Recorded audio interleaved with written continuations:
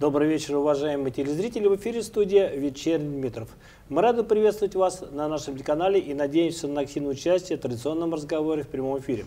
Сегодня у нас в гостях заместитель начальника отдела по вопросам миграции ОМВД России по Дмитровскому городскому округу Кристина Евгеньевна Гуськова. И нам с вами предстоит поговорить о работе данной службы и ответить на ваши вопросы.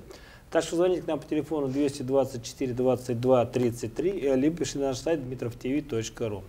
Кристина Евгеньевна, ну, прежде чем мы начнем уже отвечать на какие-то конкретные вопросы, давайте все-таки мы остановимся на тех задачах, которые стоят перед вашим отделом, чтобы телезрители могли сориентироваться, какие вопросы вам следует задавать. Пожалуйста, вам слово. Да, здравствуйте, здравствуйте, уважаемые телезрители. А, отдел по вопросам миграции занимается предоставлением прежде всего государственных услуг как для граждан Российской Федерации, так и для иностранных граждан. А, в том числе мы а, боремся с нарушениями в миграционном законодательстве, то есть следим за порядком в сфере миграции. Ну, то есть у вас, если мне память не изменяет, у вас, по-моему, 18 видов услуг, да? Да, но они все оцениваемые, неоцениваемые государственные услуги. Э, граждане Российской Федерации это документирование паспортами гражданина Российской Федерации, э, заграничным паспортом на 10, на 5 лет, э, регистрация по месту жительства, по месту пребывания граждан Российской Федерации.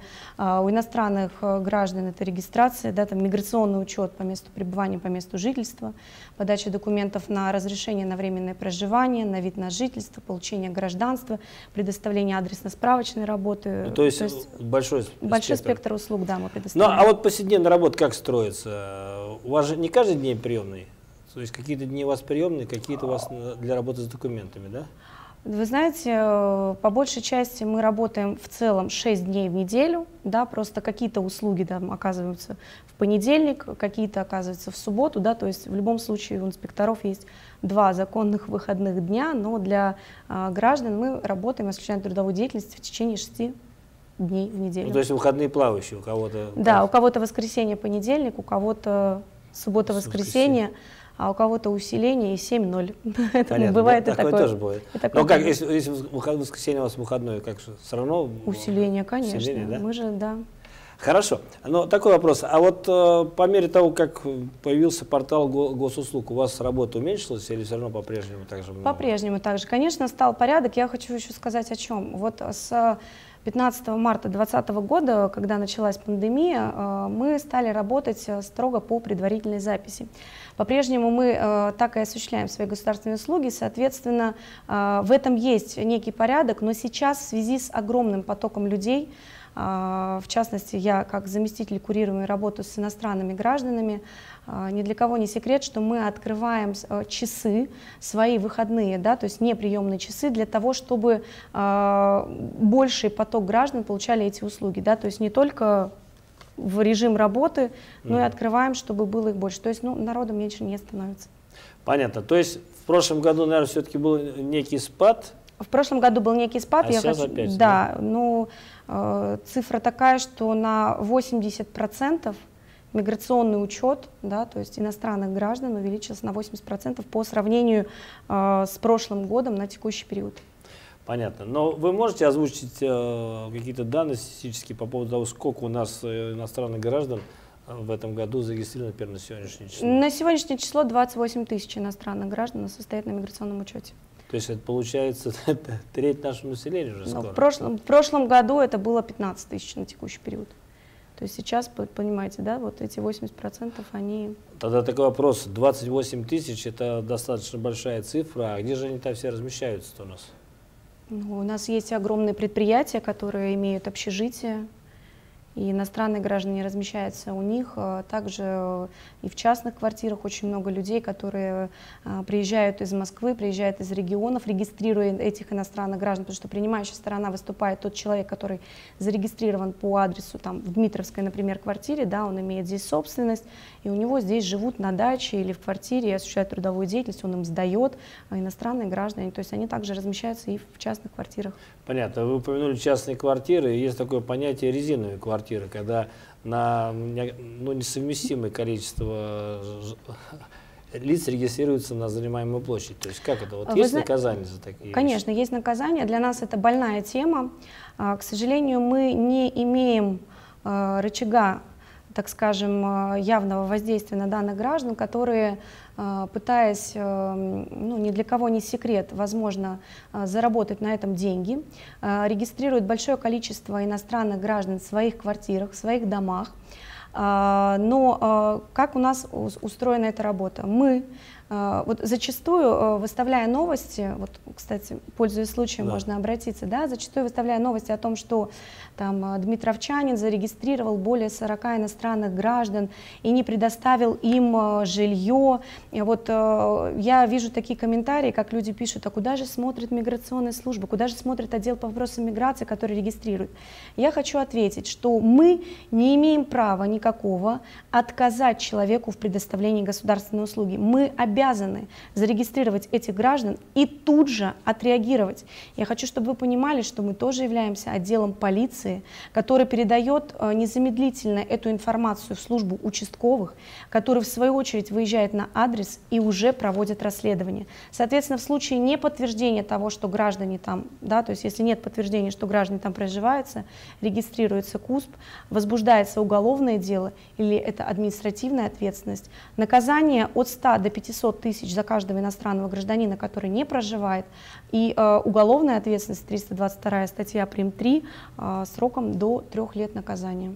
Ну понятно, хорошо, зарегистрирован не проживает, это один вариант, а есть другой вариант, когда и зарегистрированы и живет огромное количество. Как вот здесь быть в этом вопросе? То есть, Но... ведь, э, допустим, вот россиянин захочет кого-то к себе прописать, наверное, вряд ли его пропишут. Э, Вы знаете, нет, Скажет, почему? норма площади вам не позволяет нет, прописывать. мы не, мы, не, мы не просматриваем, мы не просматриваем площадь, потому что, э, вы знаете, ну, иностранные граждане, они люди непривередливые. В том плане, то, что им достаточно постелить матрас, и чтобы было где умыться. Все. То есть по факту они действительно в двухкомнатной квартире, когда ты говоришь, вы что, живете восьмером в двухкомнатной квартире? Они говорят, да, Кристина Евгеньевна, мы там проживаем. И мне участковый пишет рапорт о том, что действительно подтверждается факт проживания, а у них все обустроено, то есть здесь я уже ничего не могу не, сказать. Ну, я... 8 человек в двухкомнатной квартире это еще нормально. То есть это, в принципе, есть у нас и семьи дмитровчан живут так по, по 8 Возможно. человек в двухкомнатной квартире. Э, но хуже, когда 20 человек в двухкомнатной Ну, они, значит, там не приживают, это явные признаки эффективной постановки на учет. То есть человек, беря деньги за услугу, да, предоставляет регистрацию, и человек, он даже знать не знает. Понятно. А вы сведения передаете в налоговую инспекцию? То есть это же, в принципе, заработок. То есть э, человек, который сдает в наем жилье, он должен платить ну, этим, э, Да, вопрос в том, что были бы у них э, какие-то договоры найма, то есть этого ничего нет. Мы, мы работаем здесь только по э, линии нашей, то есть мы предоставляем данные участкового, участковый отработает, мы возбуждаем уголовное дело в дознании. Но, а на ваш взгляд, не является ли это вот лазейкой в законе, что вот действительно недопро... незаконнопослушные граждане... Соглашусь. У нас бывают такие случаи, э, в чем, в чем суть, что э, зарегистрировать иностранного гражданина может человек, постоянно проживающий на территории Российской Федерации. То есть это не обязательно собственник.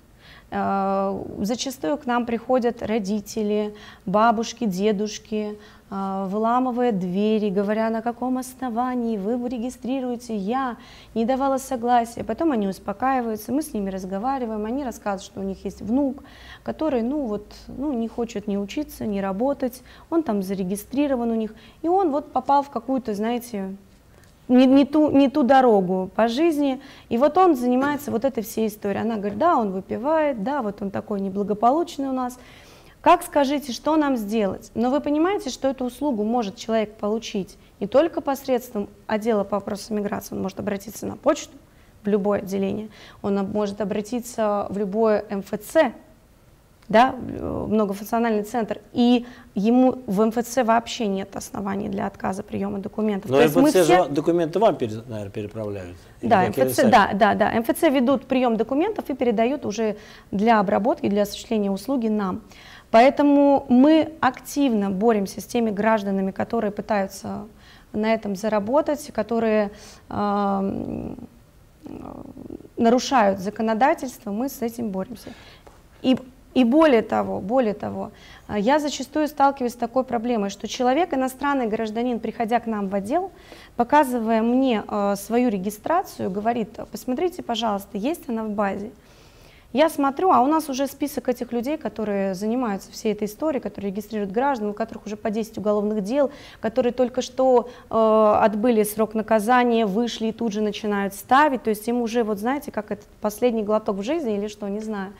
И когда мне иностранный гражданин приходит, я говорю ему, скажите, пожалуйста, где вы живете? Он говорит, я живу вот там-то, там-то. А почему вас не регистрирует человек? Хозяйка не хочет. Понимаете, то есть мы, получается, что граждане Российской Федерации, наши с вами любимые дмитровчане, также толкают и иностранцев, и сами нарушают, не уведомляя нас о том, что у них зарегистрирован человек, мы, мы не хотим. И они начинают придумать, там у нас проблемы с квартирой, у нас проблемы с документами, и мы не хотим вообще регистрировать иностранцев. Живешь, деньги платишь, вот и бог с тобой. Понятно. Нет, но здесь есть, наверное, все-таки, может быть, э, Митровчане опасаются, может быть, были случаи, когда их регистрировали, а потом эта недвиж... собственность уходила это, не, это вообще исключено. Да? Это, это речь идет о временном учете, который, знаете, это только учет, чтобы мы понимали, что вот иностранный гражданин такой находится по этому учету. Регистрация делается максимум сроком на э, год, это когда у человека есть трудовой договор, а так он оформляет разрешительный документ, это патент, он его оплачивает там на месяц, на два, на три, и принимающая сторона оформляет. За них даже, чтобы вы понимали, э, не учитываются коммунальные услуги, то есть иностранные граждане не вписываются в домовые книги, э, никакой учет, то есть, ну, здесь... Э, ну, коммунальные это... услуги, слава богу, сейчас у нас все-таки по счетчикам, поэтому за, за, за него платят, ну, если, если счетчики есть, то платит владелец квартиры, а если нет, то, конечно, опять-таки соседи нас... оплачивают. Ну, это уже, да, не, не, не наше, так скажем. Хорошо, но вы сказали, сколько, 12 с лишним, сколько сейчас в данный момент? 28. 20, 28 тысяч. Где же такие у нас предприятия? Ну, можете их назвать предприятия, или это э, не совсем будет корректно? Вы знаете, ну, их огромное количество. Во-первых, у нас очень много курортов. Мы это все прекрасно знаем. Все эти наши, а, там, Свежий ветер, Сарачаны, Тигачевы, это все наши горнолыжные курорты, которые тоже, а, как мы понимаем, обслуживаться должны, да, и обслуживают их иностранные граждане. Это наши заводы, а, огромный завод Дёки, Э, там, МЖБК, молочный, Озерецкий завод, Дмитровский молочный завод, да, наши аграрии, Куликова, Бунятина, их огромное количество. Да? И это мы еще не берем там э, индивидуальные предприниматели, которые э, тоже занимаются различным бизнесом и имеют у себя рабочую силу Э, иностранных граждан. Понятно. Я все время считал, что э, мигранты работают, может быть, на стройке и, может быть, в коммунальном хозяйстве, но чтобы на заводе МЖБК, я не думаю, что там... Работают иностранные граждане. Да? Работают. И какие же они работы там выполняют? То есть подсобные? Различные, но и не только. Вы знаете, у меня очень много людей э, приходят на, э, подают документы на квоту, о выделении квоты да, для приобретения гражданства Российской Федерации, и очень много порядочных очень много порядочных людей, которые там, знаете, по 15 лет работают. И заводы, и предприятия ходатайствуют о выделении квоты данным гражданам. Да? То есть иностранный гражданин это не всегда э, разнорабочий. Э, в том числе у нас э, э много складов, распределительные центры, магнит э, и прочие, на которых тоже работают иностранные То граждане. есть те, кто 15 лет работает, они еще не имеют гражданства, вообще процесс же, мне кажется, не столько долгий. Вы знаете, здесь все очень индивидуально, очень индивидуально, и поэтому э, не то, что долгий. Кто-то 15 лет работает, он только себе оформляет патент и имеет миграционный учет. А кто-то за 15 лет своей работы здесь приобрел себе землю, построил дом, а, у него а, здесь там брат приобрел гражданство по жене, ну образно, да, там угу. женился, и он уже оброс, так скажем, такими позитивными плюсами, которые его могут подтолкнуть к ускоренному приобретению гражданства. А так бывают такие случаи, кто не хочет кто просто э, зарабатывает здесь деньги, отправляет к себе на родину, уезжает туда, живет тут и здесь, и там. И Понятно. На ну, вот по процентному соотношению представителей каких стран у нас э, больше всего, где, где меньше? То есть наибольшее, да, наибольшее количество граждан прибывает это Таджикистан, на втором месте это Узбекистан, третье место Украина, э, Киргизия, Армения и Молдова. То есть у нас вот такая ну, история. Понятно. Но я думаю, что многие а, армяне, азербайджанцы, они уже здесь уже осели. Но вы знаете, в том числе... У нас же есть и армянская, и азербайджанская диаспоры, которые Да, но, наверное, но так, вы знаете, меня всегда удивляет другой момент. Вот сейчас в пандемию а, я называю этих людей подснежниками, которые услышали о том, что э, э, ослабили законодательство, да, ослабили вот этот вот режим надзор, и они начали приходить к нам. Вы знаете, я въехал в Россию в 2012 году, я уже здесь столько лет живу, но я ничего не делал, но сейчас же президент сказал, да, то есть очень многие люди э, не хотят вовремя и своевременно, хотя они имеют эту возможность, приехать сюда, зарегистрироваться, встать на учет, получить разрешительные документы и, в принципе, двигаться в сторону приобретения гражданства Российской Федерации как последняя стадия. Но они не хотят этого делать, а незнание закона, мы знаем, не освобождает от ответственности, и зачастую иногда люди проходят такие этапы уже какой-то, да, там на полпути к приобретению гражданства, потом они куда-то пропадают, исчезают, и уже вот сейчас э, у нас э, с 30 сентября указ президента 394, который вступил, уже мы ужесточаем свои, да, то есть мы уже и выдворяем людей, и сокращаем сроки пребывания, но пока что еще э, те граждане, которые являются являются закононаходящимися, это те, кто въехали после 15 марта 2020 года, они имеют шанс до 31 декабря обратиться к нам, чтобы себя легализовать. То есть те граждане, То есть которые без уже... без штрафных санкций, без всего, да? Да, без суда и без штрафных санкций. То есть те иностранные граждане, которые прибыли на территорию Российской Федерации до 15 марта 2020 года, они уже могут обратиться к нам, но это уже будет через суд. Остальные, кто в период пандемии, даже если они не делали регистрации или вставали на учет на 1, 2, 3 дня, они имеют право обратиться, и мы их примем. Понятно. Ну, э, согласитесь, я думаю, что вы видели на центральных телеканалах показывают сюжеты о том, что вот есть специальные центры, да, где регистрируются все прочее, или, может быть, где получают рабочую визу. У нас, вы же не выдаете, да, не оформляете? Визы нет, мы не оформляем. И нас... в том числе патенты не оформляете? Да, патенты у нас оформляются в Московской области централизованно в отделе по вопросам трудовой миграции в городе Красногорск. То есть вся Московская область получает патенты централизованно там. Понятно. Вот, вот там же местным жителям вот эти э, очереди э, доставляют немало хлопот. У нас таких центров нет, слава богу, да? Нет, у нас таких центров нет. И проблем вот, э, ну, у нас только единственная очередь, только ваше здание, наверное, да? Когда в наше здание, да. Это постоянно никак или все-таки определенные дни, то есть зависит от того? Смотрите, мы просто открыли, опять-таки, чтобы разгрузить э, поток граждан, чтобы их, так скажем, уберечь от штрафов, да, мы все понимаем прекрасно, да, если мы штрафуем людей, говоря о том, что вы продлили не в срок миграционный учет, мы должны сказать, что вы могли прийти вчера. Если человек говорит, что на вчера у вас не было талона, соответственно, мы открыли вторник, четверг, живая очередь, да, с 10 до часу дня, хотя прием начинается с двух, то есть вот эти три часа в несколько окон, по 5 инспекторов даже в эти дни принимают большое количество граждан. Около 250-300 э, регистраций мы делаем, постановок на миграционный учет. Но у вас все, все тоже по электронной очереди в основном, да? А, либо талон это берется, да, либо живая очередь вторник-четверг. Mm. То есть человек просто пришел и продлевает учет своему иностранному гражданину. Так, хорошо, есть звонок, давайте на него ответим. Слушаем да, вас, слушаем. говорите. Я? Да-да, говорите. Алло, здравствуйте. Я хотел спросить, если э, человек прибыл сюда во время пандемии, с этих пор э, не делал регистрацию, э, у него еще есть шанс сделать регистрацию? Да, может, да. Да еще есть шанс обойтись без больших штрафов да, и он, выдворения, да? Да, он может обратиться к нам в отдел по вопросам миграции, либо взяв талончик, либо прийти, как я уже сказала, по живой очереди. Мы продлим ему миграционный учет до 31 декабря, и в этот срок он должен э, себя легализовать, то есть обратиться за подачей на патент, либо подать на РВП, на вид на жительство, если у него есть основания. Но он регистрируется, он должен прийти с человеком? Э, Обязательно. Принимающая куда сторона. Он, куда он... Да. Без принимающей стороны мы не осуществляем государственную услугу. Понятно. Ну а на предприятиях вы действительно говорите, много общежитий, где у нас э, проживают? Много общежитий. Много, да? Много. У нас есть общежитие по 400 койко-мест. Ну, поэтому вот... Понятно. Ну, хорошо, но все-таки согласитесь, э, зачастую в социальной сети, наверное, читаете, что вот э, совершили преступление приезжие мигранты. То есть какие чаще всего преступления совершают?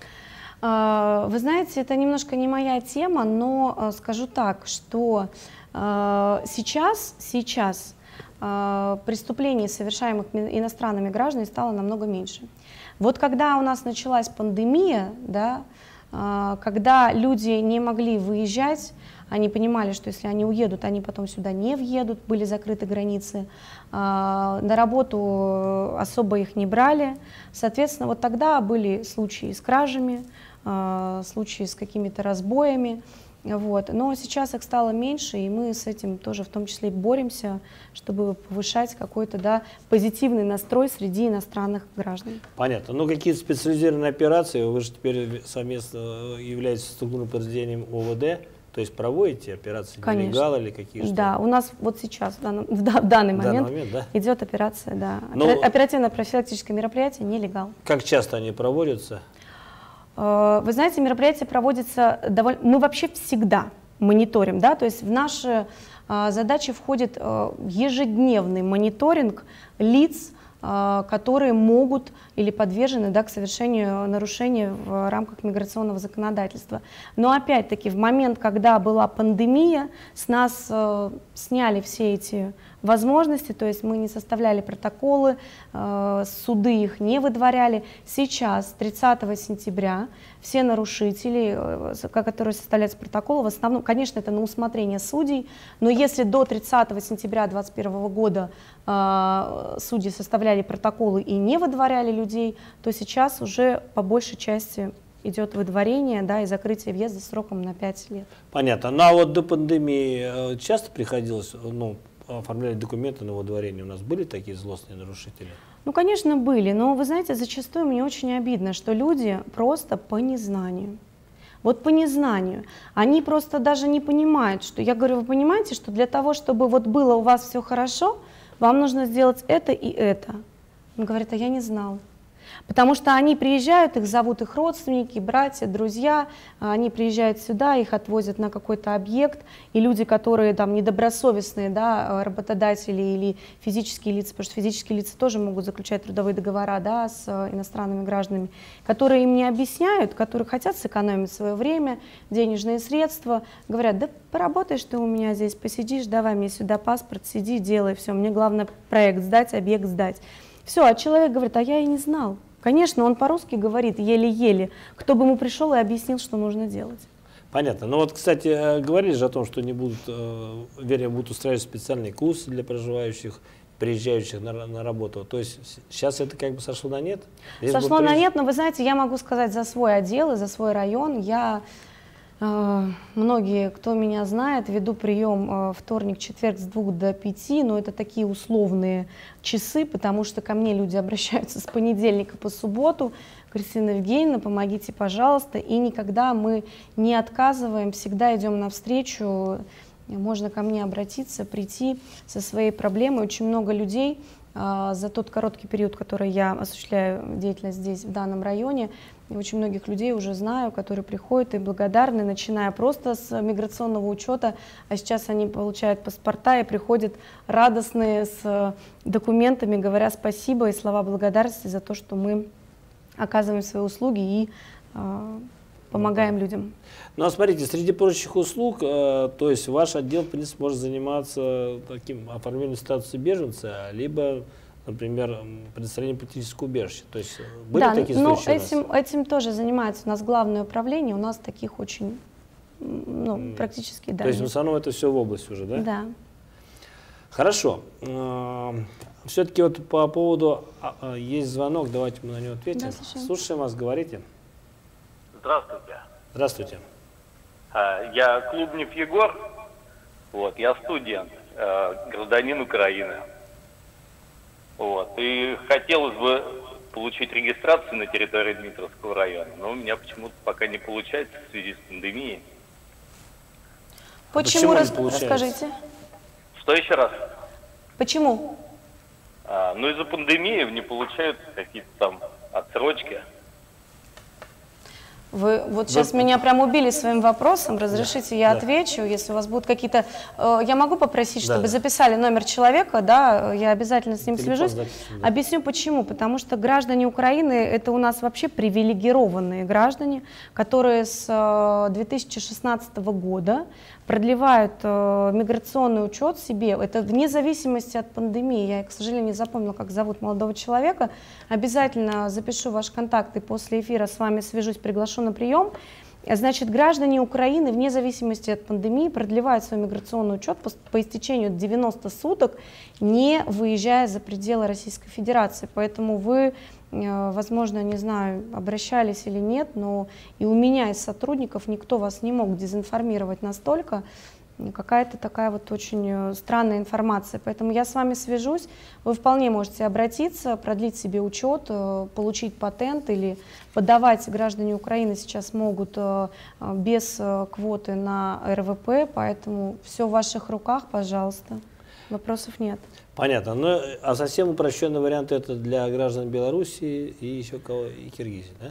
А, нет, и, тут... И это, это при наличии вида на жительство уже. А. Белоруссия, Казахстан, Молдова, да, у нас сейчас подают тоже без, э, ну, то есть по упрощенной программе. Понятно. Ну, а белорусы же могут находиться без регистрации здесь? Как? Нет, но белорусы, так как они все-таки иностранные граждане, да. хотя они очень приравниваются к гражданам Российской Федерации, за которые... Единое таможенное да, да, единое таможенное пространство, но так или иначе а, все равно регистрационный, ну, на миграционный учет они как граждане Беларуси встают, и если они хотят приобрести вид на жительство, то есть они сразу а, подают на вид на жительство. То есть у нас три ступени, РВП, вид на жительство, гражданство, и граждане Беларуси имеют право. Или, или им патент не нужен трудовой покупать? Им не нужен, нет. То есть патент... они могут спокойно устраиваться? Да, да, они да, работают и... по трудовому договору, да. То есть это гораздо проще. Да. Ну, а вообще вот... Э я не помню, спрашивал вас, сколько у нас человек за последнее время, за, ну, по крайней мере, за последние три года, сколько у нас получили гражданство? Ну, за три года не скажу, я скажу за текущий период. Давай. За, за 9 месяцев, да. да, гражданство приобрели у нас э, а, 1152 человека, да, то есть это вот на текущий период. Из каких стран? Есть я статистика? Не, не, не скажу. Не скажу. Но страны, вы понимаете, как бы здесь э, по большому счету, кто э, преимущественно находится по миграционному учету, те и преимущественно получают. Ну, понятно. Сейчас... Ну, то есть в основном страны ближнего зарубежья? Да, есть... страны СНГ, да. А из других стран нет никого? Нет. Очень редко, когда там э, приезжают визовики, но, как правило, они приезжают, чтобы погостить кому-то, да, на срок действия визы и не более того. Понятно. С Европы, само собой, тоже никто не обращался, да? да? Хорошо. Э, Кристина Евгеньевна, ну, на ваш взгляд, какие вопросы еще нужно обязательно озвучить, чтобы телезрители знали, куда обращаться, по каким вопросам? Уважаемые телезрители, мы осуществляем свою трудовую деятельность в отделе по вопросам миграции на улице Загорская, дом 22.